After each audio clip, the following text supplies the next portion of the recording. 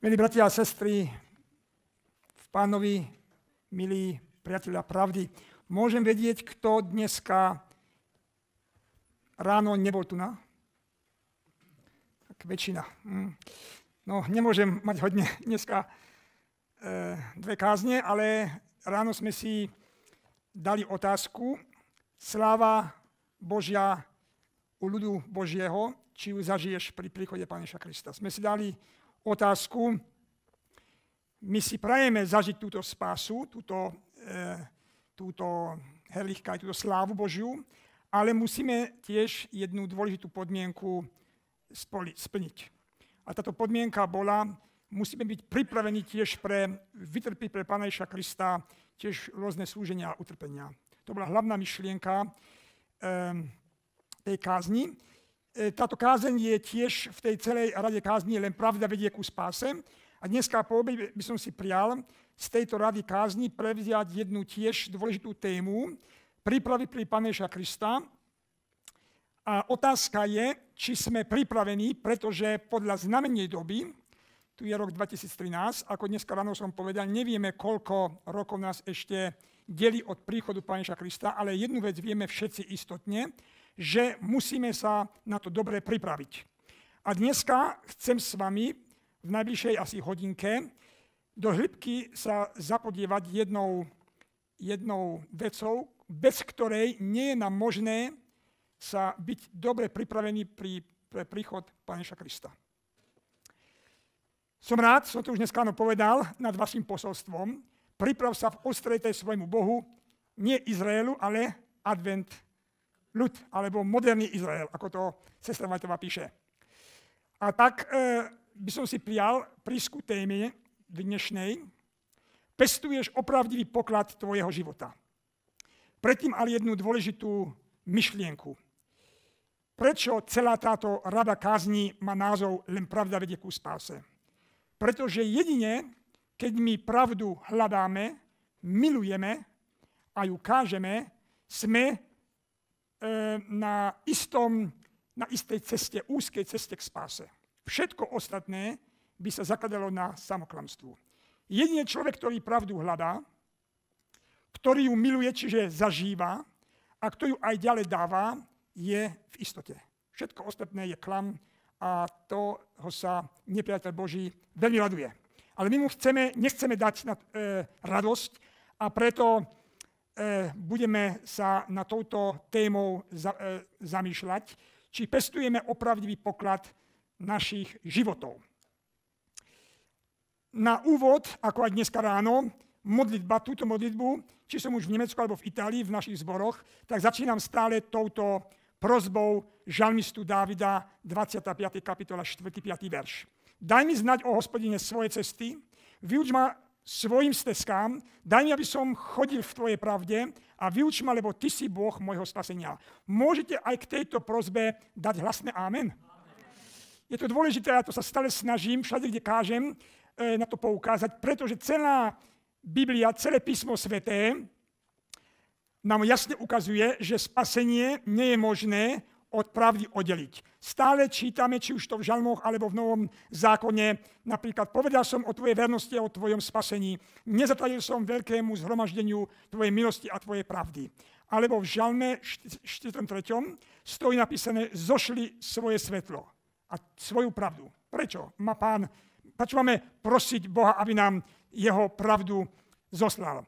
To nech ma vedie a dovedie na vrch tvojej svetosti a do tvojich príbytkov. S týmto slovičkom príbytkov budeme sa dneska trošku viac zapodievať. Takže vidíme, že tá pravda a spasenie idú dokopy. Nemôžeme ich deliť. Začínam Matúšom 13.46.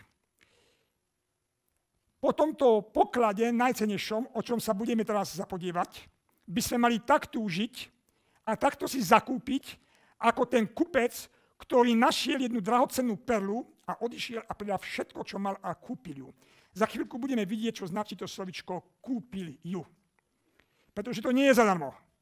Je to zadarmo a nie je to zadarmo. V, Nemecku, v, e, v, Nemecku, e, v Nemecku, keď niekto hovorí, čo myslíš, brat, je to pravda alebo nie, tak sa povie jajn, ja aj nein.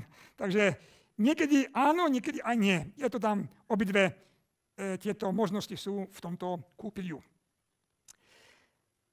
Začínam takouto, takýmto citátom biblickým, nezvyčajným. Kto robí neprávosť, nech len robí neprávosť ešte, a kto špiní, nech špiní ešte, a spravedlivý nech činí spravedlivosť ešte, a svetý nech sa posvetí ešte. Keď tento čas nájde, tak čas na tento poklad je už hotový. Neskoro. Je už neskoro. Tento čas, keď prichádza, je všetko už skončené. Poklad najcenejší tvojho a mojho života nie je možné si zaobstarať. A preto by sme sa mali nad týmto, na touto témou do hĺbky zamyslieť, pretože príde noc, keď nebude môcť nikto pracovať. Toto slavičko pracovať budeme za chvíľku chápať, lebo to má spoločné s tým slovičkom kúpil. Ten kupec kúpil. Pracovať nebude možné. Niektoré citáty som nepreložil do slovenčiny, pretože bolo to dosť eh, hodne práce, ale mám to tu na preložené, takže vám to budem niektoré tieto citáty priamo čítať z manuskriptu. Tu je to v knihe Veľký spor vekov, kde sestra Vajtová píše, keď Noá vošiel pred potopou do korábu, Boh za ním zavrel dvere a bezbožných nechal vonku. Keďže ľudia 7 dní nevedeli, že ich o osude bolo už rozhodnuté, pokračovali vo svojom bestarostnom, hýrivom spôsobe života a vysmievali sa varovným výstravám o hroziacom súde. A pán Ježiš povedal, tak bude aj pri príchode syna človeka. Ticho, nepozorovane, ako zlodej v noci, príde rozhodná chvíľa, keď sa naplní údel každého človeka a navždy sa skončí ponuka Božej milosti hriešnikom. Táto kniha je moderná, to je nové preloženie, spor vekov, veľmi dobré, a ja to osobne ako kolpoltér v celých oblastiach, kde navštevujem v blízkosti Stuttgartu, to ponúkam ľuďom, niekedy predávam, niekedy aj darúvam, aby sa ľudia prichystali pre príchod Pána Krista. Videl som, že máte aj vy v slovenskom jazyku, to je veľmi dobre, to sponzorované a Pán nech poženáva ľudí, ktorí dávajú peniaze na rozširovanie týchto kníh. To je tá dnešná téma. Pestuješ opravdivý poklad tvojho života. Tento poklad je to najcenejšie, čo vôbec môžeme zažiť a nadobudnúť. Je to veľmi dôležité, aby sme tento poklad mali. Pretože keď tento poklad by sme nemali, tak naplní sa ten smutný, eh, no to je jedno posolstvo, som povedal, proroka Daniela, že si odvážený na váhe a si nájdený nedostatočný. A toto si neprajem zažiť, nie ja a nikomu z vás. A tento čas príde, keď mnohí budú vážení a nebudú nájdení dostatoční. Všetci, ktorí tento poklad nezískali, budú nedostatoční. Toto krásne zaslúbenie Paneša Krista poznáme. Určite, bratia a sestry, ste počuli v mnohých kázniach toto zaslúbenie z Jána 14. kapitola. Mnohí to poznajú nás pamäť. Nech sa neláka vaše srdce, veríte v Boha, verte aj vo mňa. V dome môjho otca je mnoho príbytkov a podobne. A potom hovorí pán, a keď odídem a prihotovím vám miesto, prídem zase a poberiem si vás k sebe, aby ste tam, kde ja som, aj vy boli. Určite ste mnohokrát v kázniach počas voš- vašich adventistických rokov počuli toto posolstvo. Či je to pravda? Určite. Ale nie som si istý, či, či do hĺbky chápete toto posolstvo. Mne je jasné, že mnohí, keď toto posolstvo čítajú alebo počúvajú, tak e, si povedia áno, v nebesiach je hodne bytov alebo miest a Pán Ježiš tieto miesta pripravuje a keď on príde, tak potom nás tam zoberie. To je pravda. Mnohí myslia na domy a byty, miesta v Novom Jeruzaleme. Mnohí veria a sa radujú na domy na Novej zemi podľa Izajáša mnohí e, proste tieto myšlienky prechovávajú. A to je aj pekné, to je aj správne. Ja som aj dneska ráno niekoľkých dôležitých citátov, aj biblických e, veršov poukázal, ako je dôležité sa zaoberať týmito krásnymi zaslúbeniami, pretože pred nami, pred, pánom, pred príchodom Pána Krista, nás očakáva ako ľud Boží jedno veľké súženie, aké nezažilo svet od začiatku. A sme sa dneska do hĺbky touto témou zapodievali a mne je to vedomé, a ja som to aj dneska dal jasne najavo niekoľkokrát, že malo malokrát sa stáva, že sa takouto témou zapodievame a mi to bolo aj potvrdené, že nie často sa takéto témy aj kážu. Ale tí, ktorí to nerobia, podľa môjho názoru, musím to povedať aj tu na poobede, sme si povedali niekoľkokrát, že strascovia zborov, kazatelia starší zborov, tí, ktorí sú laickí kazatelia, musia vedieť, v akej dobe žijeme a keď hrozí nebezpečenstvo, tak čo má robiť ten strážca? Zobrať trúbu a má ju zatrúbiť, alebo má to nechať tú trúbu doma? Zatrúbiť. A čo sa stane, keď nezatrúbi? Čo hovorí slovo Božie vo Ezechielovi? bude zodpovedný za to, čo neurobil. A keď ľudia nebudú pripravení a zomrú, krv týchto, ktorí boli nepripravení, bude pán žiadať od týchto strážcov. Takže vidíme, že ako je dôležité, nie zo strachu, ale z lásky k bratom, sestrám, aby sme to činili, pretože deň príde, kedy nemôžeme nič konať. Sme videli jeden citát, jeden verš, príde noc, kedy nemôžeme pracovať. Potom je už neskoro kázať, keď e, prídu tieto problémy. O čo sa jedná o tohto pokladu? Vieme, že v nebesiach bol jeden boj. To vieme, ako adventisti sme tu majstri a vieme to pekne aj ľuďom z iných cirkví povedať, aj v biblických hodinách. Jan videl tento boj a videl týchto anielov, zlých a videl aj dobrých. A v tomto boji takto išlo ďaleko, že títo zlí anieli na, na čele s Luciferom boli zvrhnutí, jedna tretina, a ich miesta sa viac nenašlo. Stojí tu napísané, že ale nezvládli, ani ich miesto sa viac nenašlo na nebi. Pán Ježiš vtedy už povedal, e, že príde čas, keď vidí, že Satan bol zvrhnutý z nebies. Som povedal, že niektoré citáty a niektoré e, verše mám iba v nemeckom jazyku, pretože tieto kážne ja kážem, ale nemal som možnosť úplne do hĺbky to všetko pripraviť, ale myslím, že chápeme toto posolstvo a mnohí aj tieto verše na spameť v slovenskom jazyku aj poznajú. Mne sa jedná len o to, že v nebesiach je dostatok príbytkov. Tieto čakajú na spasených, na tých, ktorí majú ísť tam. Vieme, že predtým ale pán Ježiš je veľkňaz.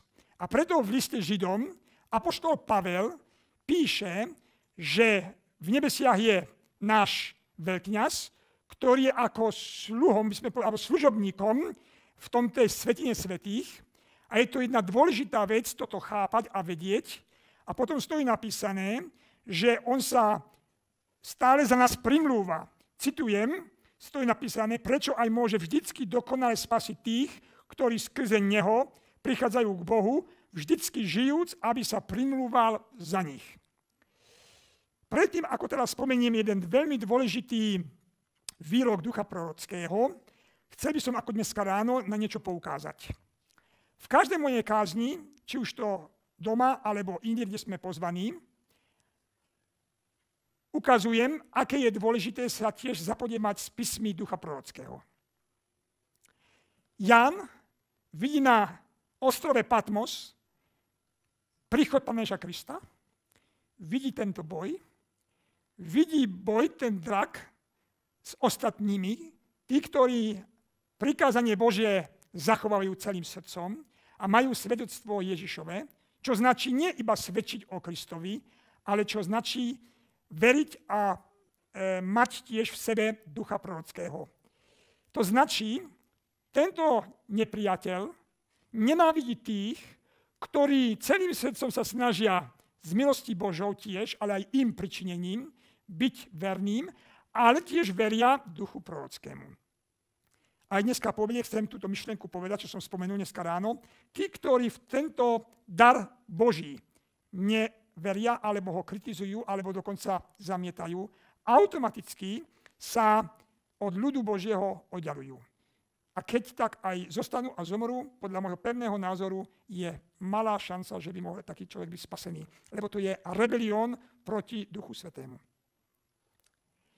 Preto všetky kázne vedľa biblických cit- e, veršov doplňujem hlavnými myšlíkami z ducha prorockého. Možno tu na Slovensku alebo v Čechách máte ten problém menej, ako my v Nemecku alebo v iných západných krajinách, ale ja viem, že dneska je taká tendencia, že dokonca, dokonca aj niektorí kazatelia alebo vedúci, keď aj neotvorene, ale ako si tú hĺbku týchto výrokov, ako si sa snažia nie tak dať najavo, ako by sa malo. Ja viem, o čom hovorím, nechcem ďalej o tom niečo povedať, len chcem na to poukázať, že Satan sa snaží práve tento dar zničiť. A ja vám poviem niečo teraz. Keby tieto knihy a toto posolstvo neexistovalo, mnohí vedúci a bohabojní bratia veria, že by Satan uzničil dávno církev.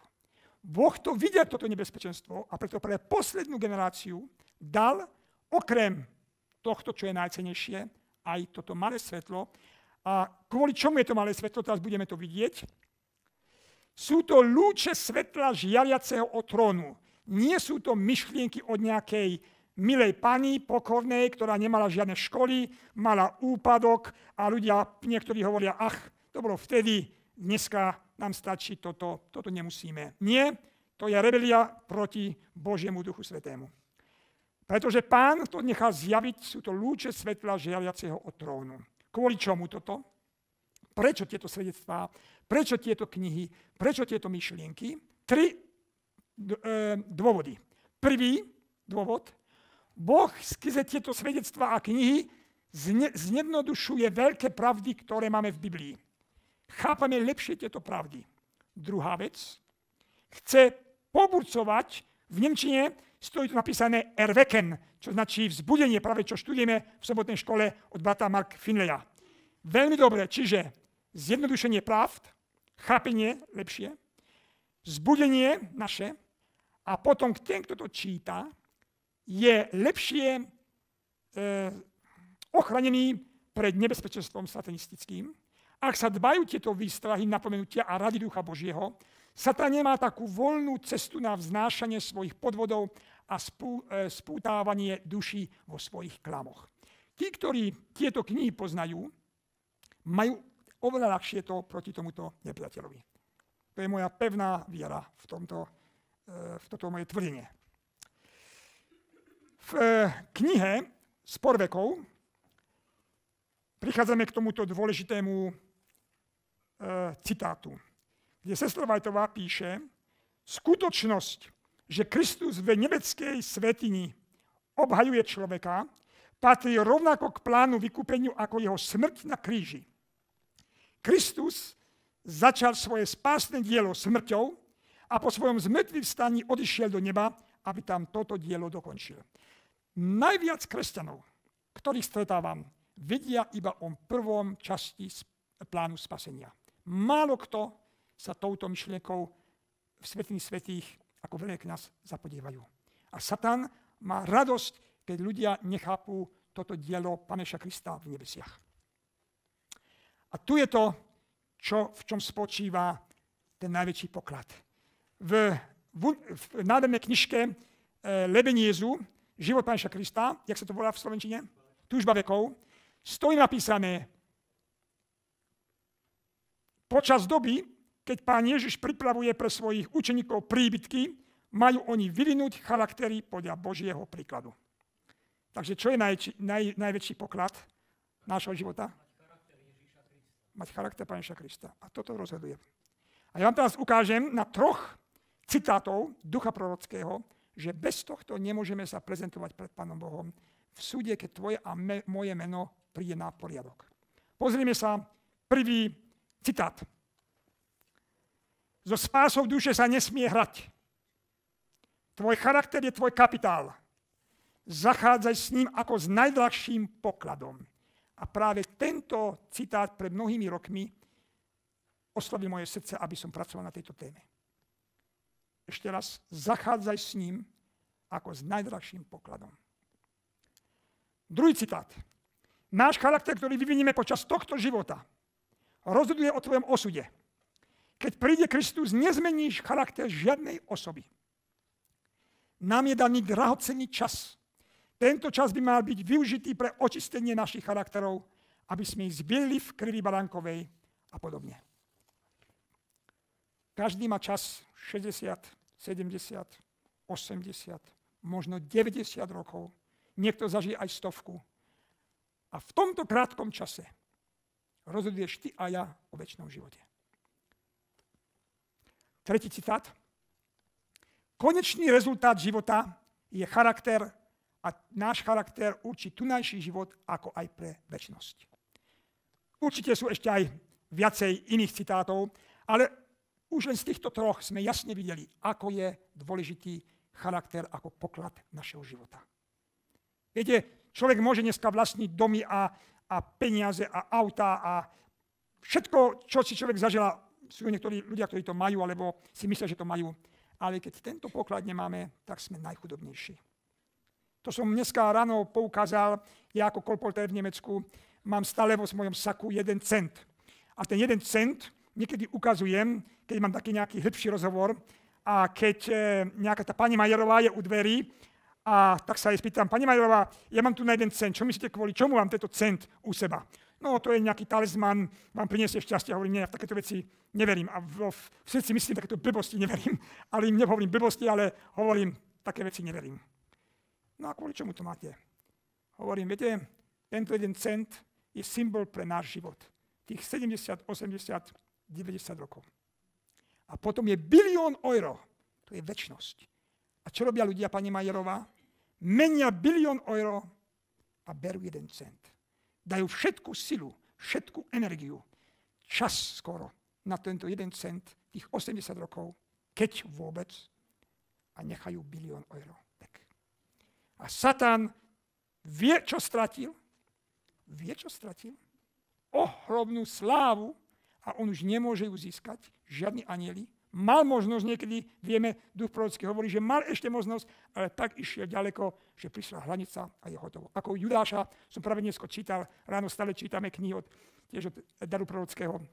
Judáš mal ešte možnosť pri večeri e, pánovej, pri umývaní bola posledná možnosť a keď on to neučinil a keď vyšiel, tak bola tma a bola tma aj koniec pre Judáša. Nebola možnosť žiadneho obratenia. A tento zlom a tento moment nikto nevie. Nevieš ty a ja, keď hrajeme s hriechom, kedy tento bod príde. Preto nedoporučujem nikomu, aby hral s milosťou Božou a s hriechom. E, žiť beust, e, beust, e, umyselne hriechu. Takže vidíme, ten poklad je náš charakter. Z toho dôvodu tá dnešná prednáška, téma Pestuješ opravdivý poklad tvojho života. Je to stále otázka. Moje všetky kázne, e, už pred vyše rokov, asi 10-15 rokov, nesú stále na záver otázku. Pretože sa snažím týmito povzbudeneckými kázňami osloviť srdcia bratov, sestry a našich priateľov pravdy, aby si dali otázku v tom alebo v onom smere. Nie iba niečo poukázať, ale zamyslieť sa, či je to pravda v mojom živote, alebo či to nie je pravda. Definícia charakteru a ako sa utvorí charakter. K tomuto úplne málo, nie som žiadny psychológ, ale jednu vec viem. Že charakter e, by sme mohli popísať, je to niečo ako vrypanie sa. Ale sa nejedná o len nejaké momenty v živote človeka, ale keď tieto momenty, tieto zvyky, či už to šlo, slova, myšlienky alebo e, diania, keď sa opakujú stále viac a viac, tak to tvorí potom ten charakter. Takže nie ojedinelé myšlienky a skutky, ale keď to príde ako obyčaj, sa povie, hej, obyčaj sa hovorí, ako zvyk, ako zvyk, ako zvyk. A problém je v čom? Problém je, že my zdeľujeme nie iba vizáž, niekedy hovoríme, to je úplne mama, úplne pa, e, papa, e, no, otec. Hej? Niekedy dokonca starý otec alebo stará mama. Lenže my aj dedíme automaticky špatné vlastnosti starých otcov a otca a matky. A to je ten problém. Každý, ja som tiež zdedil, pretože môj otec, moja mama neboli žiadni svetí, ani môj starý otec, stará mama, ani tvoj, ani tvoji mnohí. A problém je teraz v tomto. Jeden e, sestra Vatva píše, že deti a mládež obdržali, zdedili charaktery vady ich rodičov a neboli tak vychovávaní, aby obdržali pozitívny charakter. Otcovia a matky nesú zodpovednosť, pretože obidva dieli, e, tieto e, e, tajle, no, časti, či už to matka alebo otec, dávajú svoje charakterové vlastnosti ďalej na svoje deti a tým oni potom dedia tiež tie všelijaké zvyky. To je ten problém. A preto je dobré, keď je možné, dokonca študovať rodičov. Akí sú rodičia, akí boli starí rodičia. Sestra Vajtová píše, niekde som čítal, myslím práve v tej knihe, Benjamin, čo si mi ju máme, áno, že máme študovať dokonca aj rodičov, akí sú, a aby sme lepšie chápali e, tieto veci. Ako vznikne, a to je teraz najhlavnejšia vec, snáď jedna z najhlavnejších e, momentov dnešnej témy. Ako vznikne jeden správny charakter. Čo myslíte? Ja mám tu na jednu jasnú odpoveď na to, ale by som chcel tak, ganz e, spontánne mi prišla myšlienka, vie niekto v jednej vete povedať, v krátkosti, v jednej vete, ako vznikne správny charakter?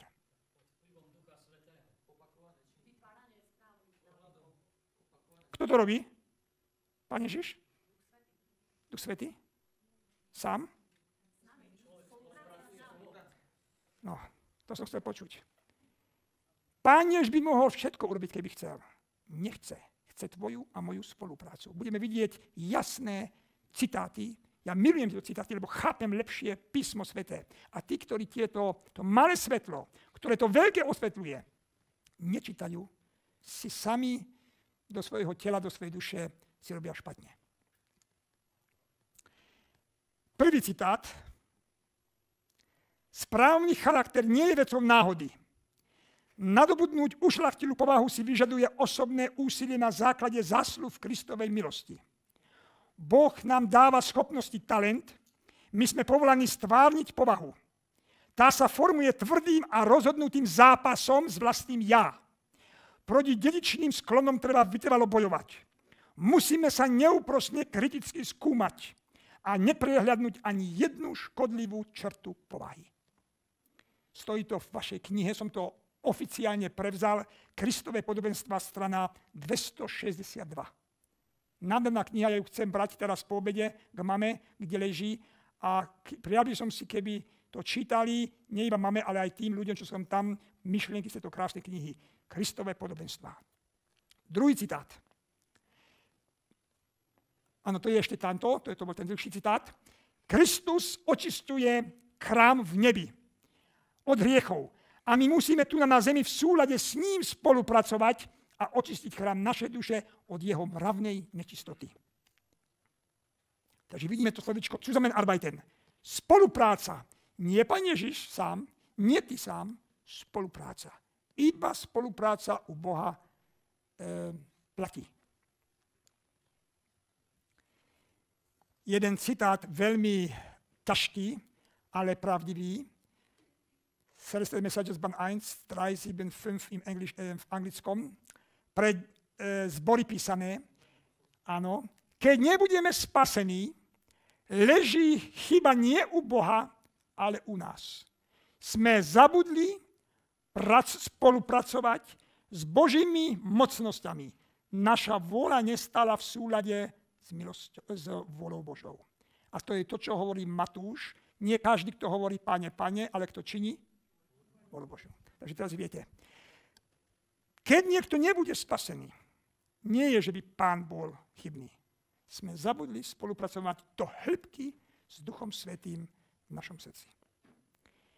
A ja by som pevne verím, keby každú sobotu, alebo každú druhú aspoň, keby takéto káznie týmto smerom išli, tak to by prinieslo. Ale Satan nechce o tom počuť. Nikto by nemal tvrdiť, že sa nezmôže zbaviť svojich povahových chýb. Ideme do hĺbky, bratia a sestry. To sú ťažké myšlienky, ktoré snad niekto prvýkrát počuje, aj keď má 20, 30, 60 rokov v adventnej pravde, ale keď to chápeme, tak sme pochopili hodne. Nikto nemal by tvrdiť, že nemôže zbaviť svojich povahových chýb. Ak dôjdeme k takémuto presvedčeniu, určite sa pripravíme o väčší život možnosť zmeny závisí od našej vôle. Ak nechcete zvyťaziť, nezvyťazíte. Skutočným problémom je neposvedené srdce a neochota podriatiť sa Božej vôli. Keď som tento citát čítal prvýkrát, tak som si povedal, tú poslednú vetu musím urobiť ešte vo väčšom. Hneď vám to ukážem. V čom je ten hlavný... Pri, e, pro. Ale tu je tá práca Páneša Krista podľa Malachiaša. Čo stojí napísané v Malachieši, kapitola 3, že on bude sedieť prepalujúc a prečistujúc striebro a tak prečistí synov Lévyho a očistí ich zlato, zjavenie Jana, 3. kapitola, zlato, čistiť. A? a ako striebro a budú hospodovi donášať obetný dar obilných spravedlivosti. Takže chcem ešte raz tento citát. Nikto nesmie povedať, že moje špatné vady nemôžem e, prekonať. Kto takto myslí, neobdrží určite väčší život, hovorí Duch Svetý skrze svoju posolkyňu. V čom to spočíva? To je hlavná, hlavný boča, hlavné posolstvo dnešného povednačka. V čom to spočíva? Skutočným problémom je neposvetené srdce a neochota sa podriadiť Božej boli. Keď toto sme pochopili, tak chápeme prakticky celý plán spasenia. Neposvetené srdce a neochota ísť podľa vôle Božej. Koľko ľudí hovorí, pán Šerej, ale sobota, viete, pán Šerej desiatky, pán Šerej jedno, pán Šerej toto, ono. Neochota sa podriadiť vôli Božej. A neposvetené srdce, špatný charakter sa po krste roky až do hrobu berú. Po 50 rokoch človek môže byť taký ako pri krste. Zbabelý, ohorávavý, závislivý, neodpustný a podobne a podobne. Budeme za chvíľku vidieť všetky tieto chyby. Problém je ale v čom? Problém je, že my sami o sebe nechceme o tom častokrát aj vedieť a nevedieme ten boj proti ním. Tento výrok ukazuje, že, že keď sa snažíme prekonávať tieto problémy, tak zistíme akýsi prúdky odpor od týchto vecí. Ale ak budeme pokračovať v boji proti ním s energiou a vytrvalosťou, sme schopní ich prekonať. Stále ale pritom milosť Božia, nie že ma niekto chápe fa- falošne. Bez Krista nezmôžeme nič, hovorí Ján 15. kapitola, je úplne jasné. Ale väčší problém osobne ako adventista vyše 30 rokov vidím nie v tomto probléme, ale v tom, že mnohí myslia, že Pán Ježiš všetko robí a my ako kresťania, ako jeho učeníci, následovníci, nemusíme sa týmto takto hĺbky zapodievať. Bojovať. Ach, bračeri, prosím ťa, Eh, Pán Ježiš to urobil. Áno? Všetko? My nemusíme? No. Satan má radosť, samozrejme, keď takto človek myslí. Nebezpečenstvo posúdenia vlastného charakteru. To je ten problém. Problém je, to je pre nás ťažké, píše, dosiahnuť seba poznania. Božie slovo je jasné, ale častokrát sa nám nepodarí, nedarí uplatňovať to osobne k nám. Máme sklon k seba klamu a veríme, že jeho varovanie, ako aj vina, sa netýka nás. Nástivejšie a od všetkého je srdce a je neduživé na smrť, kto ho pozná podľa Jeremiáša. A potom stojí napísané tu na sebaláska a sebavedomie môže nás uisťovať, že máme pravdu, pričom sme ale ďaleko od požiadaviek Božieho slova vzdialení. Takže vidíme, že tento citát je vlastne presne, ja som si tu napísal, musí trafiť srdce laudických veriacich. Pretože práve aj my myslíme, sme bohatí a všetko máme a práve biblické posolstvo hovorí, že ty myslíš, ale tvoja láska k sebe a tvoja presvedčenie si myslí, že to a to nie je. To je zezbetruk, to znamená, že samoklam. U mnohých, nie u každých, ale u mnohých. Pavol hovorí, píše v, v Galackým, poznáme tieto, tieto uh, verše. Nemáme sa míliť, pretože Boh nenechá so sebou sa posmievať. Lebo čokoľvek seje človek, to bude i žať. Lebo ten, kto seje vo svoje telo, z tela bude žať porušenie a ten, kto seje v ducha, z ducha bude žať väčší život. Keď som po tomto obraze príde jeden citát. A tento citát ma oslovil, pretože duch Boží oslovil posolkyňu, aby napísala na, jeho, na jedného brata alebo na jednu sestru, neviem presne, kto to bol, jedno posolstvo. A toto posolstvo by mohlo snáď aj byť písané na teba alebo na mňa. Mohlo. Pozrieme sa dobre toto posolstvo. Nemil sa, píše sestra Vajtová na jedného brata alebo sestru. Nemil sa, Bohu sa nebude nikto posmievať. Čiže ona cituje teraz Galackého. Iba skutočná úprimná zbožnosť ťa môže pripraviť pre nebesia a ti dať čistý, ušlachtilý charakter a ti umožní vstúpiť do Božej prítomnosti, ktorý prebýva vo svetle, do ktorého žiaden človek nemôže vstúpiť. Ak nebeský charakter sa nezíska na zemi, tak potom sa on nikdy nezíska. Preto začni hneď. Obleč si príjemný charakter Boží, aby si v nebeských príbytkoch mohol spievať melódiu v nebeskom zbore. Hm. Čo myslíte, keby duch prorocký bol medzi vami tu na v Košiciach? Na koľko členov z vašeho zboru, či už tu na alebo hore, kde ste, by podobné slova možno že písala? Sa musí každý zamyslieť nad týmto. To sú všetky citáty, kde sa jedná o tvoj a môj o väčší život. Mám iba jeden život. 50, 60, 70, 80, 90 rokov. A v tomto času rozhodujeme o väčšnosť, o bilión euro. Momentálne vlastníme všetci iba jeden cent. Bilión euro je tu na. Jeden cent je tu na. Meníš to? Hľadaš bilión euro? Všetko konáš, čo je možné, aby si ho mal? V Galackých píše Pavol známe slova, zjavné sú skutky tela. Uncucht. Viete, kvôli čomu som dal uncuch do červeného? Čo myslíte, kvôli čomu? To sa volá u vás cudzoložstvo. Čo je cudzoložstvo alebo smilstvo u vás na Slovensku? V zboroch, čo myslíte? V Nemecku je to bežné. Keď žijú dvaja spolu, idú do zboru, sú pokrstení, ale žijú spolu bez svadby. Oficiálne. V Nemecku rozšírené všade, v celom svete. Tí nikdy nevstupujú do Nemeckého Pri jednej kazni, keď som bol vo jednom väčšom meste, som zažil jednu veľmi príjemnú udalosť. E, kazateľ prišiel s, s jedným párom na pódium a vyznali pred Bohom hriech, že dlhší čas, myslím, boli spolu, že to je hriech.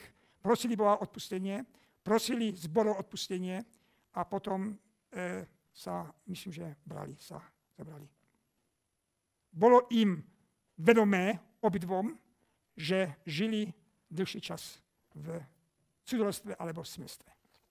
Dneska, kto o tom káže, kto sa to rozpráva, a keď to povieš, tak máš hneď nepriateľov. Eifersucht, nenávisť, eh, night, tu mám to napísané, neviem presne, nečistota, nestudatosť, modloslužba, čarodejstvo, nepriateľstva, zvady, žiarlenia, áno, žiarlenia, hnevy, dráždenie, rôznice, sekty, závisť, áno, závisť najít, vraždy, opilstva, hodovania a podobne. Pavel hovorí, tí, ktorí to robia, nebudú dediť Božieho kráľovstva. Čo ma zaujalo ale, že Pavel hovorí, ako som už prv povedal. Neprvýkrát Pavol bol ako teológ, ako opravdivý pastier, Božích zborov. On sa snažil už predtým hovoriť, hovoril som vám to a znova vám to opakujem, aby ste chápali, že títo, ktorí to robia, nevojdu do slávy Božej. Preto tá otázka, musíme ísť sami do súdu s nami a len tak nebudeme súdení. V Korinském hovorí, keď my pôjdeme s nami do súdu, tak nebudeme súdení. A v 2. Korinským píše apoštol Pavel, Sami skúšajte seba, či ste vo viere. Seba skúšajte. Alebo či sami seba neznáte, že Pán Ježiš, že Kristus Ježiš je vo vás, iba ak by ste sa boli nedokázali. Takže my máme skúšať sa, či opravdivo žijeme podľa vôli Božej. Ináč nemá to význam prísť aj do zboru. Snáď má význam, keď počuje človek nejaké posolstvo, že sa potom obráti. Ale keď napriek tomu, že človek číta alebo počuje a zostane a zostane a zostane, na záver Hovorím, môžeš ísť do svetu, nemá to význam. Rímanom 8. kapitola Pavol, keď podľa tela žijeme, musíme zomrieť. Keď ale skrze Ducha Svetého necháme pôsobiť a on nás umrtví naše špatné vlastnosti, budeme žiť. Lebo tí, ktorí sú vedení Duchom Svetým, tí sú synovia Boží. Nie iba tí, ktorí veria v Krista, čo je podmienka samozrejme, ale tí, ktorí Duchom Boží sú vedení tí sú. Preto mnohí v Amazónie, na ostrovoch, čo vôbec nikdy nepočuli o Pánu Ješovi, myslíte, že oni budú zatratení? Nedávno som bol v nejakom zbore, tiež v Nemecku, a tiež mi prišla myšlenka, hovorím, bratia, sestry, viete, mnohí pohania, čo vôbec nemali ani chápania o Biblii a budú tam, lebo dali preto malé svetlo, ktoré im poslal Boh, dal im, e, otvoriť srdce ale tí, ktorí mali veľké svetlo a ho využili iba málo, tí budú zatratení. A tí, ktorí mali, tí budú zachránení. A to je ten problém. My máme obrovské svetlo a Boh od nás očakáva aj tiež oveľa viac ako od toho Indiána alebo od toho nejakého, toho, jak sa povie, tí, ktorí, alebo takých ľudí, ktorí vôbec nemajú ani žiadnu šajnu o týchto pravdách. Pavol dokonca hovorí, a tu jeden problém. Naše telo náš apetít. Osobne si myslím, že tí, ktorí dneska jedia ešte meso, to je môj názor, neukameňujte ma, prosím vás. V Nemecku sa také nesmie kázať skoro, ale no tak ja vám len hovorím, že tí, ktorí sa pripravujú pre príchod Páneša Krista, všetky e, extrémne myšlienky ale zapudzujem, ale chcem povedať, že e, tí, ktorí nemajú tú silu, svoje apetívne vášne dať pod kontrolu, nebudú tiež u toho.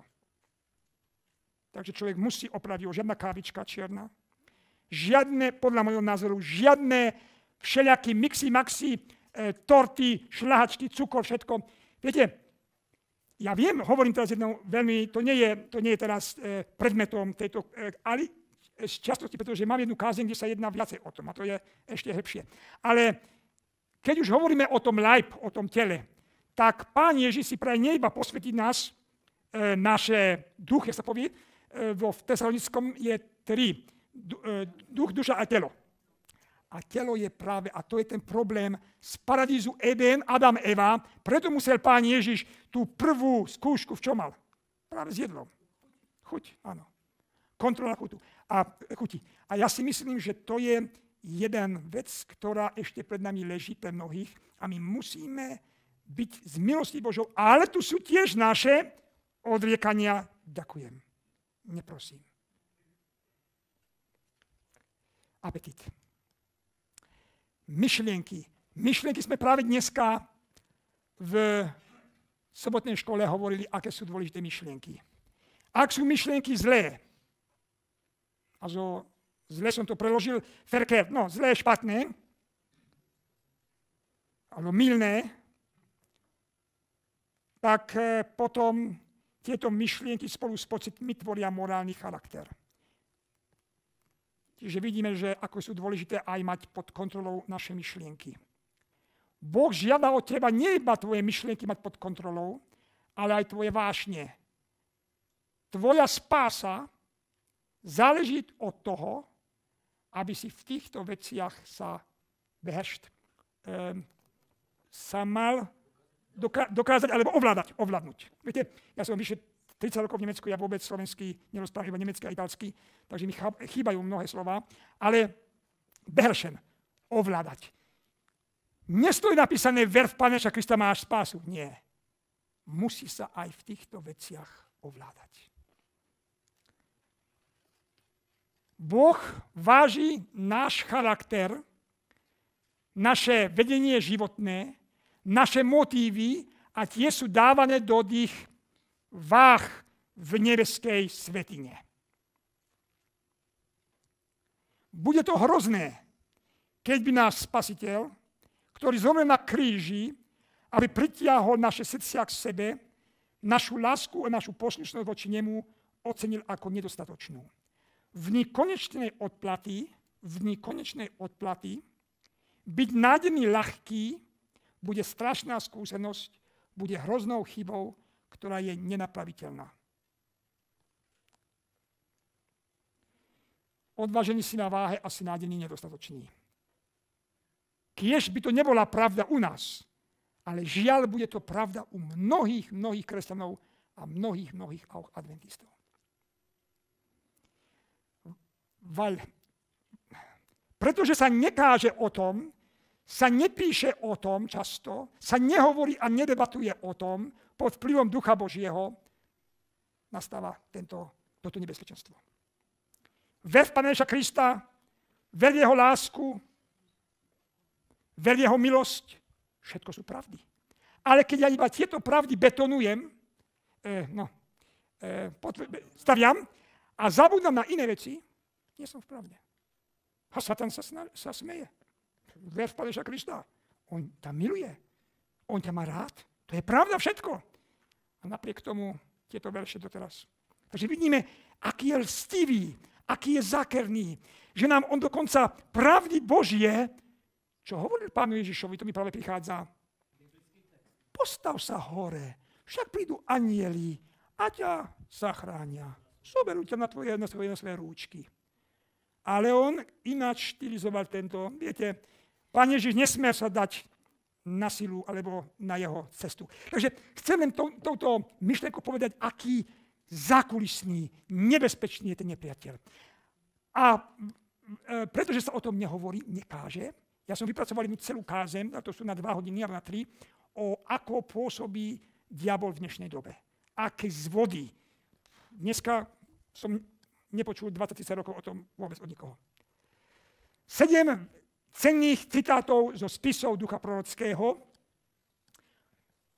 ohľadne našeho charakteru, zodpovednosti. Ideme teraz trošku rýchlejšie, lebo pozerám na hodiny a hodiny bežia.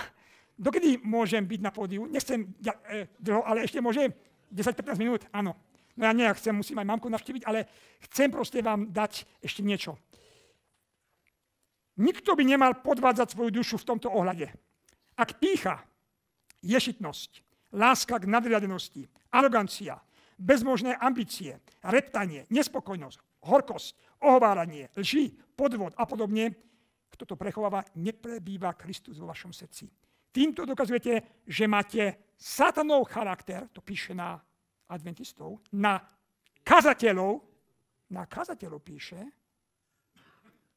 môže mať aj kazateľ, aj mnohý satanistický mysel a charakter, nie charakter Krista, ktorý bol tichý, pokorný. Potrebujete kresťanský charakter, ktorý môže obstáť. Môžete mať dobré úmysly a záľuby, hovoriť o pravde a napriek tomu nie ste vhodní pre kráľovstvo Božie. Druhý citát, čo sa tam zasádza do srdca? Závisť, žialivosť, podozrenie, rúhanie, netrpezlivosť, predsudky, sebectvo, chcenie a marnosť musí byť odstranené. Keď tieto zlé veci zostanú v srdci, priniesú svoje ovocie a mnohých znečistia. Tretí citát. Všetky charakterové chyby, vady majú pôvod v srdci. Pícha, marnosť, hnev, chamtivosť pochádzajú z telesného srdca, ktoré nebolo obnovené Kristovou milosťou. Štvrtý citát. Vytrhni zo srdca, píše na jeho brata alebo sestru.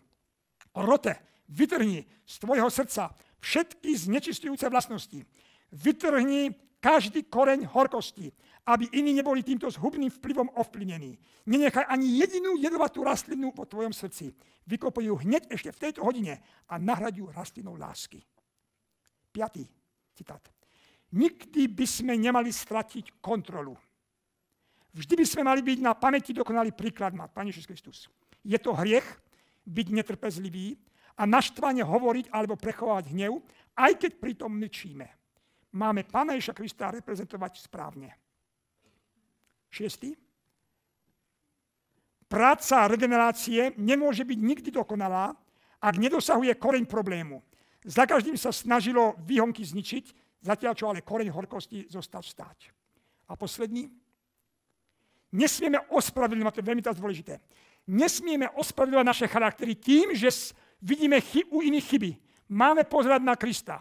My nemôžeme Krista, to je veľmi dôležitý tento výrok, nemôžeme stretnúť Krista v pokoji, ak existuje jeden hriech, jeden hriech, ktorý nebol vyznaný a odpustený.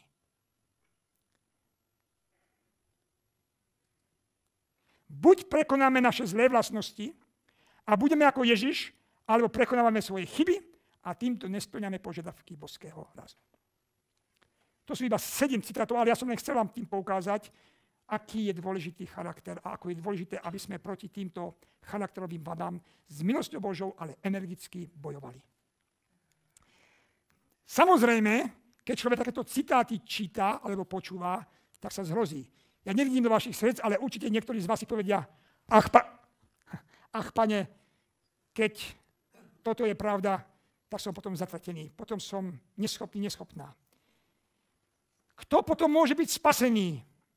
Sa pýtali učeníci jedného času Paneša Krista. A Pán Ježiš povedal im pozbuce slova, u ľudí je to nemožné, ale u Boha je všetko možné. Ja vás nechcem e, zanechať s takýmito ťažkými, s takými ťažkými citatmi. Nechcem, aby som bol chápaný špatne. Preto mám pre vás tri krásne posolstvá na záver. Tri cenné citáty zo spisov ducha prorockého, že môžeme byť víťazmi nad tými všetkými vecami. Prvý citát. Naše ja, naše ego je ťažké prekonať. Ľudská zvrátenosť v akékoľvek forme nechce byť ľahko predmetom Kristovho ducha. Ale všetci musia chápať tú skutočnosť, píše sa Tvá pod vplyvom Ducha Svetého. Všetci musia chápať túto skutočnosť. Že neexistuje žiadna nádej pre nich, pre adventistov, pre bratov, sestry, pre iných kresťanov, iba ak skrze Krista obdržíme víťazstvo. Vieme, Kristus, bez neho nemôžeme nič robiť. Ale víťazstvo je možné dosiahnuť. S Bohom nič nie je nemožné. Prostredníctvom svojej podpornej milosti každá zlá vášeň, všetky zvrhlosti človeka sa môžu prekonať. Milosť Božia je taká silná, že opravdivo nás môže zmeniť vo všetkom. Druhý citát. V Kristu je dostatočná milosť, to som z hviezdičkou vám dal. Tým, že všetky charakterové chyby môžu byť prekonané. V ňom je naša sila.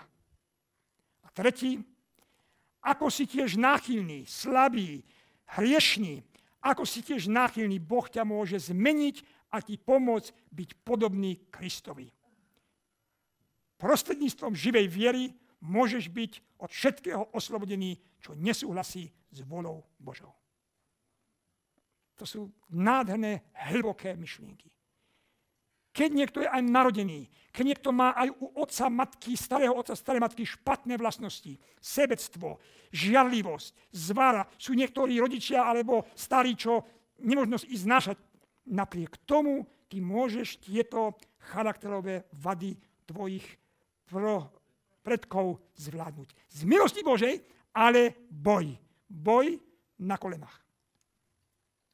Pane Ježiš hovorí, prichádzam skoro a moja odplata so mňou, aby som odplatil každému podľa jeho skutkov. A tu je to, teraz chápeme, kvôli čomu sme sa dneska touto témou zapodievali. Blahoslavení, ktorí perú rúcha svoje a činia jeho prikázania, aby mali právo k drevu života, aby vošli bránami do mesta.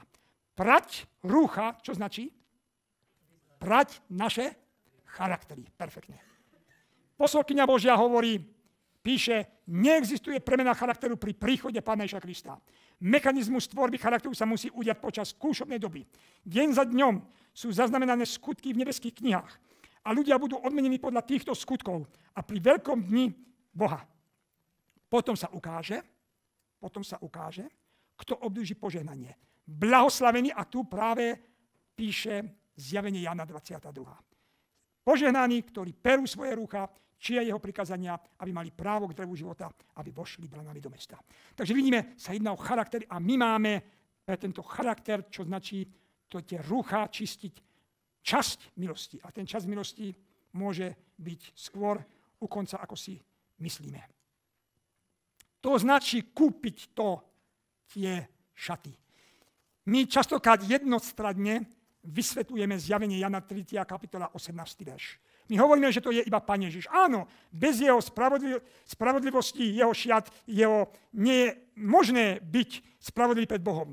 Ale nie iba jeho šaty. Ty musíš si tieto šaty jeho charakteru tiež obliesť. To je už druhá stránka. A o tej sa nehovorí hodne a tým pádom Satan jasa. Selig sind die ihre Kleiderwaschen. To sú tí, znova čo sme hovorili, to sú tí, ktorí tie, tie rúcha Peru, aby mali potom tú mocnosť a ísť aj cez mesta, cez tieto brány do mesta Nového Jeruzalému.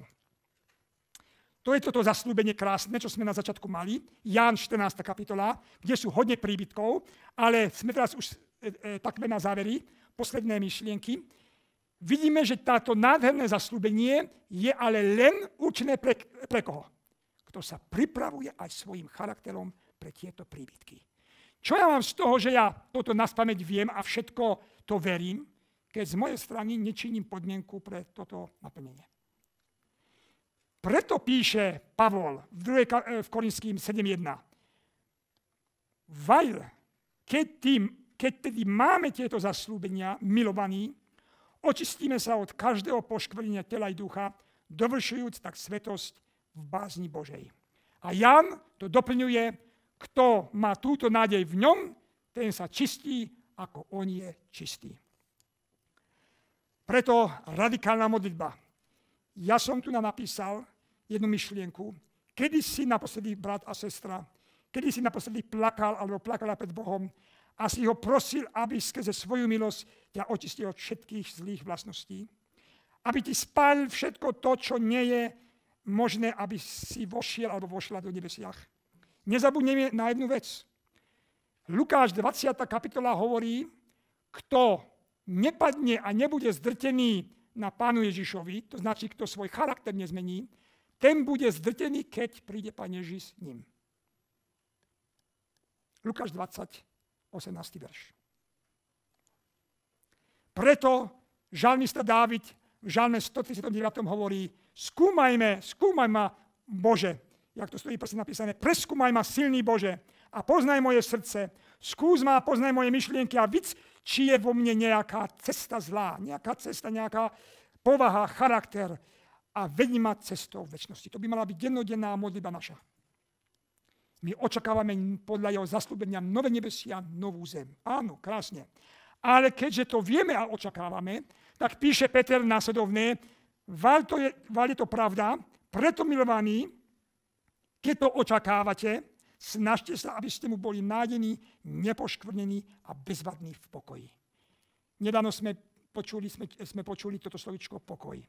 My nemôžeme v pokoji stretnúť Krista, keď jeden hriech, ktorý nám je vedomý, keď nebol olutovaný a nebol odpustený. To bola dnešná téma Pestuješ opravý poklad tvojho života? Jedno jedna otázka, bratia a sestry. Otázka, či pestuješ tento poklad. Dychtíš na tento pokladom ho mať. Viete, kvôli čomu je to dôležité? Pretože dvakrát v príslovi, ja sa hovorí, keď dvakrát ten istý verš je, tak to je veľká pravda. Niektorá cesta je priamou pre človekom, ale jej koniec je cestami smrti.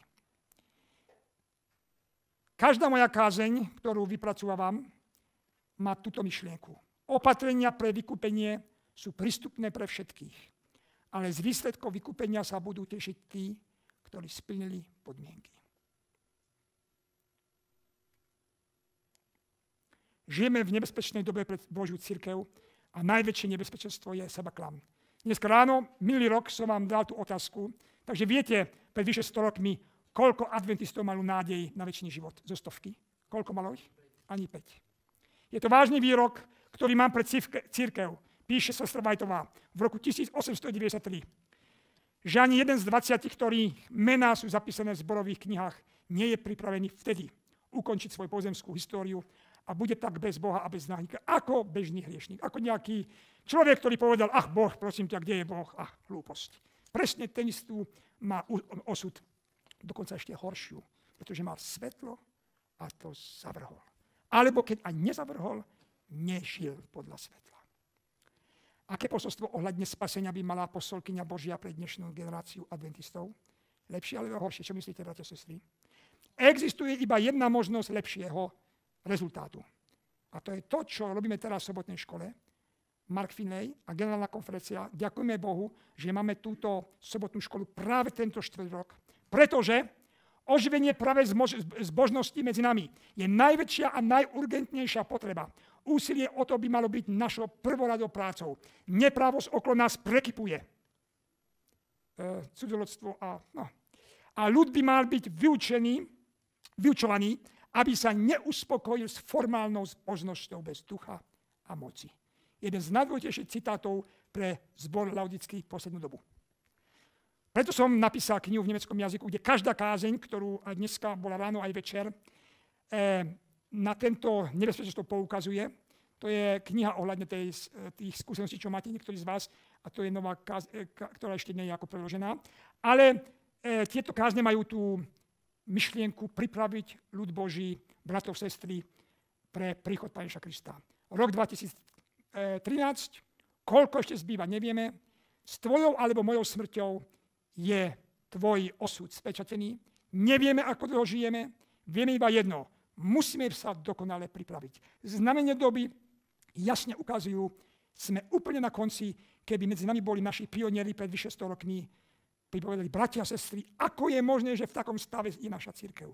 Pán Ježiš už v našej dobe chcel prísť. Som povedal dneska ráno, v roku 1900 už Pán Ježiš chcel prísť. Všetko bolo pripravené, ale moderný Izrael zlyhal ako Izrael v starom zákone. Áno.